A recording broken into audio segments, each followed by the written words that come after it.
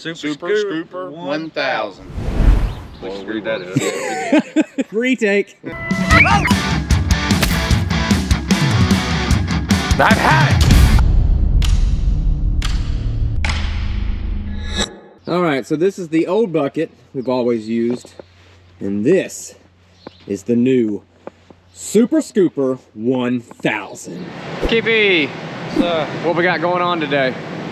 uh, we fixing to build a bucket go on our telehandler so we can use it to scoop dolomite and load the uh, spreader boats.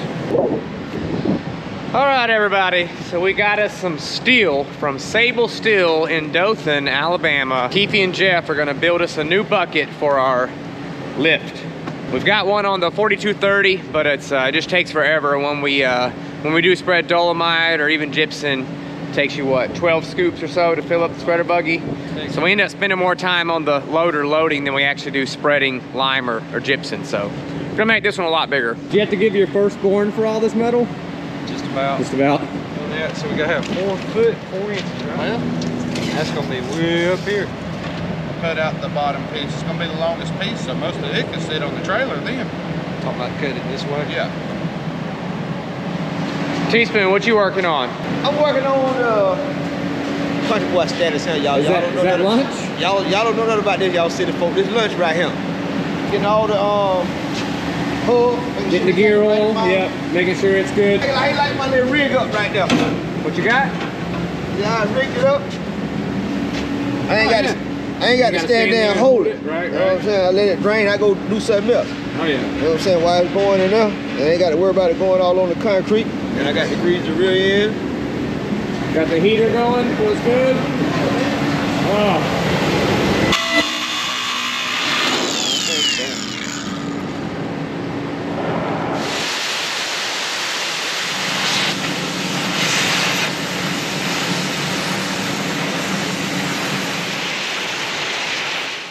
We just we measured up for uh, 12 inches, but we said anywhere between 8 and 12. I think we decided 12 that way it wouldn't be that much of an angle. Right. Yeah, the further you go back here, the lower your sides are gonna be. Yeah. What we're talking about, if you go eight inches here, then your angle on the sides of the bucket is gonna drop pretty quick. Yeah. The further you come out here, the more you'll be able to hold. Right. So it'll probably come out a foot. I'm about to say it done. It done All right. The more that you do, the harder it's gonna be to weld it together. Exactly. yeah. I mean, we can take the grinding wheel and you know make that smooth that out.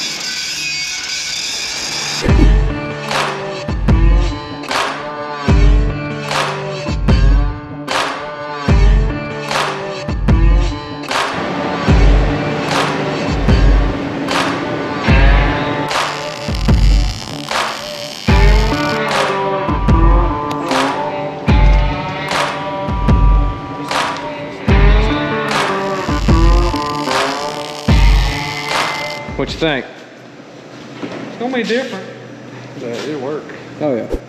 All right, well, we're filming a uh, bit for a company called Gravity Phone Case. Check them out. They're actually pretty good company. It's got like an adhesive backing on the phone so you can stick it to any smooth surface, especially glass, sticks very well. So Teaspoon's gonna help me share it or film it and then I'm gonna uh, share it on my TikTok. So if you wanted to see it, make sure you follow the at Field Rows TikTok. All right, so this is what I'm thinking. Yeah, I guess if you just want to just film me. Um, the first shot is going to be just me in front of the tractor, and I'm going to say, "Are you getting tired of holding your phone to record yourself?" And then the second shot is going to be in the tractor with the phone falling, and then it's going to be like, "You should try a gravity phone case and go hands free." And then the next shots will be in the tractor. So that's kind of what we're going to do. Okay. Like I say, you just want to hold both hands, keep it nice and steady. Um, jump up one time, we see how it reacts. Perfect. Are you getting tired of having to hold your phone to record yourself? Hey, go hands free and check out the Gravity phone case. Oh, I love my pain. I like to bowl them. I love to spoil them. The Gravity case uses smart nanotechnology to stick to any flat, smooth surface. Simply take your phone, put it in the Gravity case. After you've installed the case, simply take your phone, pan over, and stick it on the glass. I wonder will it stick when it hit a bump. Slow down, slow down. We'll stick it over here. Stick. so now your hand's free. Hey everybody, I'm an influencer. Buy my product. Hey, y'all use the code Field Rows to save 20%. Field row saves 20%. All right, it's the next day, taking shape. Gotta add the sides and then uh, be about it, right?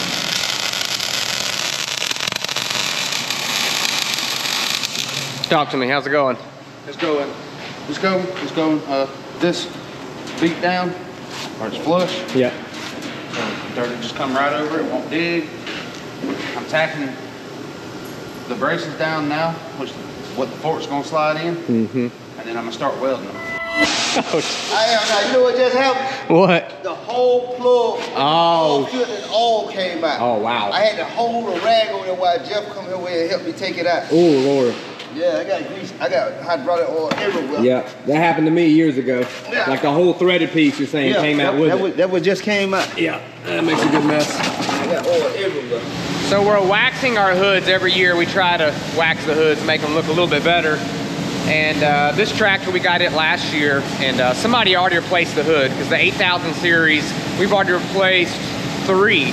Uh, the hoods just fall apart. They're complete crap. Not waxed, wax. I'm raw. Wax and dry. Wax on, wax off. Karate kid. See my shirt? See what it says? Rockies, Rocco's. Rocco's dad. Rocco's dad. And that's actually Rocco. That's right. That's a real picture of Rocco. That's Yeah. what the girls got me for Christmas. Keith, you got a little. yeah, show, show. Yeah, let's take over real quick. Got my breeches, got my shirt, my jacket, all that right there just.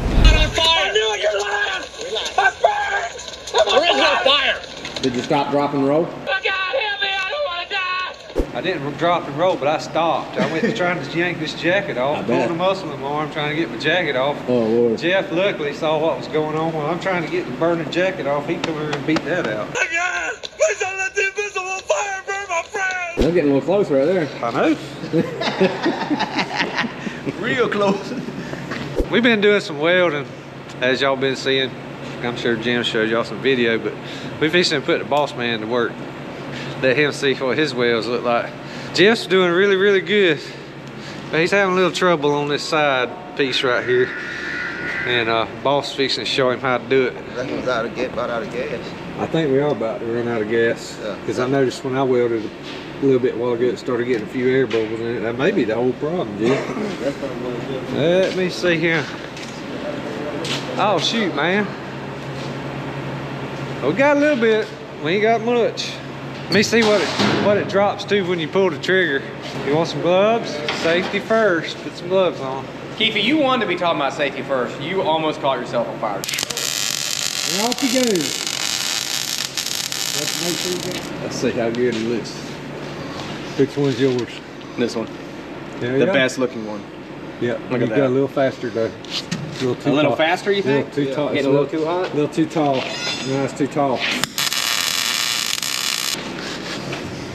Is that not the prettiest weld y'all have ever seen in your life? I don't know. This one looks pretty good. Ooh, man, that thing's pretty. That, that Still, one you, looks you about at the same speed. You I need to take a picture of that. Yeah, you still you going need- the same speed. you You got speed that on that. It's like breaking land, you know, as long as it's level, but it's, you know, What'd you say? end of the day. Say that again. It don't matter. Doesn't how- matter how it looks as long as it works.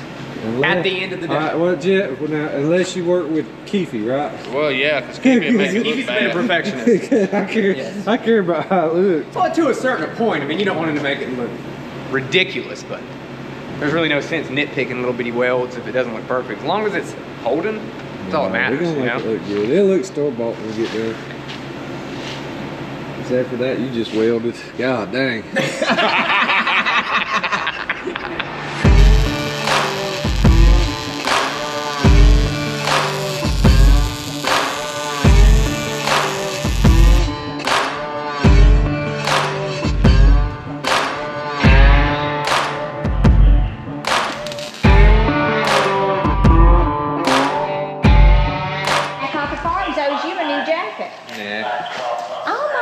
two shirts. And a pair of pants. And a bear, yeah.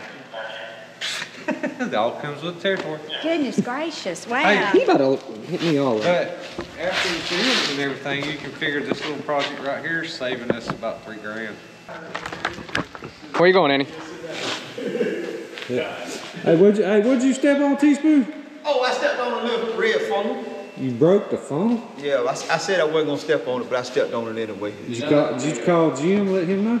I told, um, yeah, I told him. You told Jim you broke the phone? He was here. He didn't fuss at you? No. He said, oh, he, he said, oh man, we don't worry about it. We'll get him there. You, uh, you know that's gonna be a payroll deduction, right? PRD? That's, that's where the new one coming from. PRD, payroll deduction. It's already rough in the Gulf, y'all. it's already rough in the Gulf. If they don't give me a PRD for the two, uh, gates I smashed up, don't worry about no funnel. Yeah. I can't remember, I screwed, what, what did I screw up? The, the, um, The new, brand new fence. It was the brand new fence. That's what it was. Yeah, I tore, I tore Jimbo's brand new fence down with the sprayer. and, and, and- and I also tore up the, the gate on the margin, margin building. Yeah, that wasn't no biggie. That was a quick fix. I don't know, that's kinda big for me.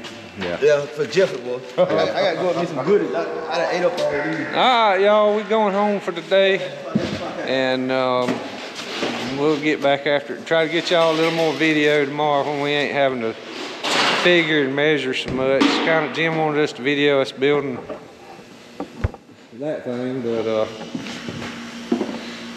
trying to figure and measure and all that, and grind and weld and tack, and it's hard to video unless you just set it up and let it roll. So we'll get back with y'all tomorrow and try to get y'all a little better footage, and maybe we'll try to, once we get it put together, we can kind of explain to you why we built it the way we did, because it looks a little different than your average bucket, but it's going to be very, very effective, and I think very easy to attach and detach. So. All right, everybody, we are back working on the bucket. Guys should have finished it up today. Coming along nicely. Let's take a look at it. Jeff got a fancy new helmet.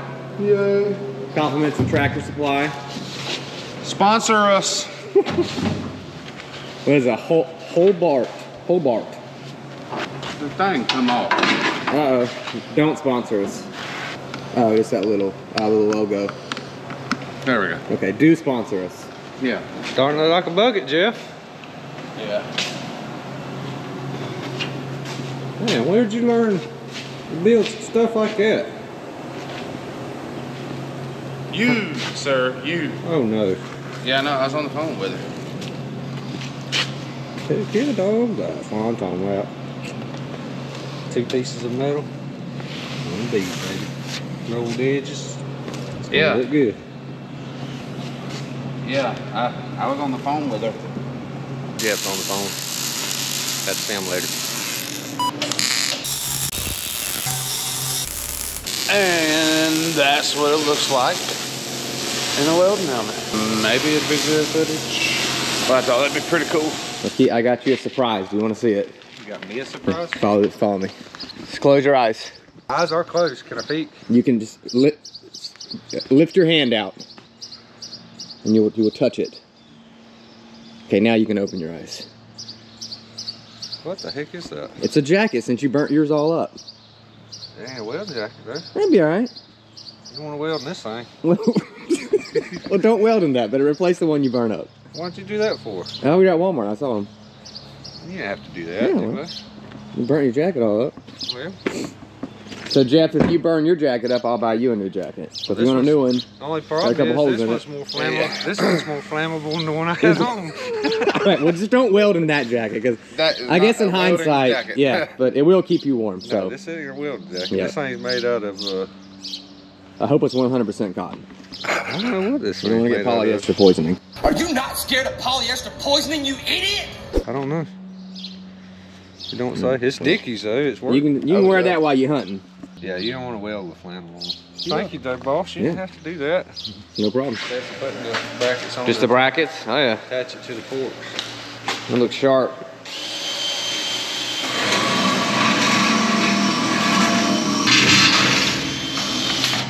Oh, sh. Can't buy a good drill bit these days. My bad. Piece of angle iron. Weld a tab on here with a Yeah. piece of angle iron, thick stuff, or weld a uh, piece of half inch on here that hangs down just a little low. Well, no, we don't need to do that because then our forks will fit. I don't know, I'll figure out something. Ratchet strap. No, not ratchet strap. Right, right, yeah, yeah. You'll have to weld And that way, that way too, you wouldn't have to guess about where to put your forks. Right. You can just pull up there and it's gonna line up with it automatically there about.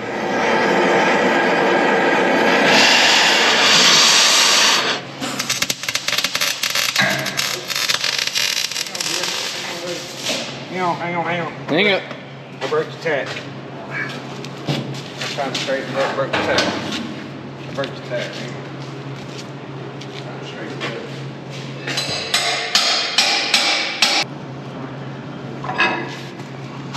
So Keithy, what we got going on? We've got it secured to the, We got it secured Lift. the top, up here. yep. And uh, what we want is when you drive up to it, hook to it, these bolts welded inside, so the bolts always be sticking out. Yep. And pull up to it, it should line up and bolts come right through. These brackets here are gonna stay on the bucket. There'll be a hole drilled here. There'll be a, so it ain't gonna get in the way when we use the telehandlers for other stuff. We're just gonna put an angle bracket, weld an angle bracket right here Nice. drop a bolt in it and uh, it'll be pulling against this so it, it ain't gonna go nowhere. Oh yeah. Sound like a plan. And that way we were able to tie it into the bracing for the bucket and those main uh, the main beams that the forks go through. Right. So that right there is attached to the main frame. It should have just made me a stir.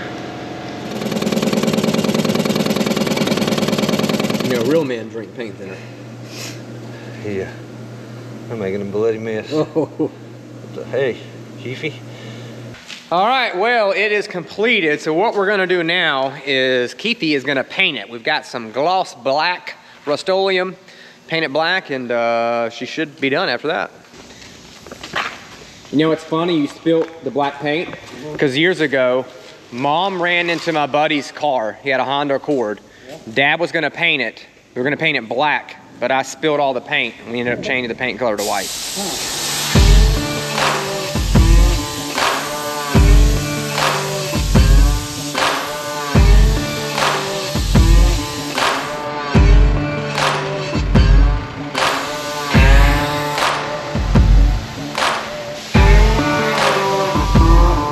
All right, the bucket is done. So Keithy, what all did you use to build this incredible bucket? Well, a lot of probably, people probably think to build something like that, you gotta have a machine shop, but basically, we had two pair of wide jaw vice grips, cutting wheel, grinding disc, bar brush on a 90 degree angle grinder, Kobalt, tape measure, little hammer, a square, a long square, and a speed square, set of torches, and that Miller wire welder. So no plasma cutter. How did you get the metal to cut it so straight? All right, What's the trick? When you do it redneck style, they give you a piece of inch and a half angle iron.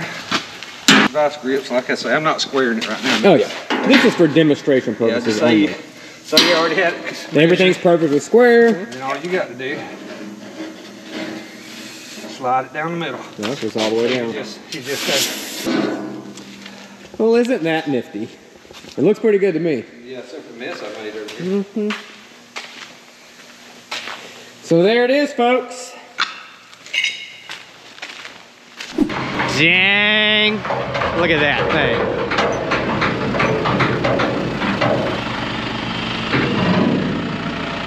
That is sharp.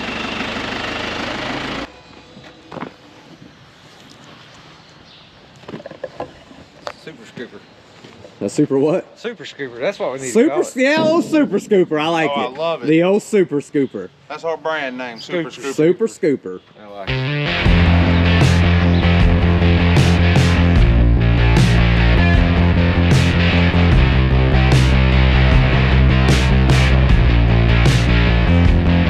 Brand new super scooper. 1,000. All right, well, this is it. Finished. Got it painted. Looks great. This will definitely speed things up. Uh, we're thinking three scoops and should fill up our spreader buggy. Three full scoops should just about do it. So, appreciate you guys watching. Stay tuned for the next video. You'll see this thing in action, scooping stuff up. So, Jesus loves you guys. Keep in the field rows and see you later. Bye. This makes us all realize the kind of pressure these drivers are under.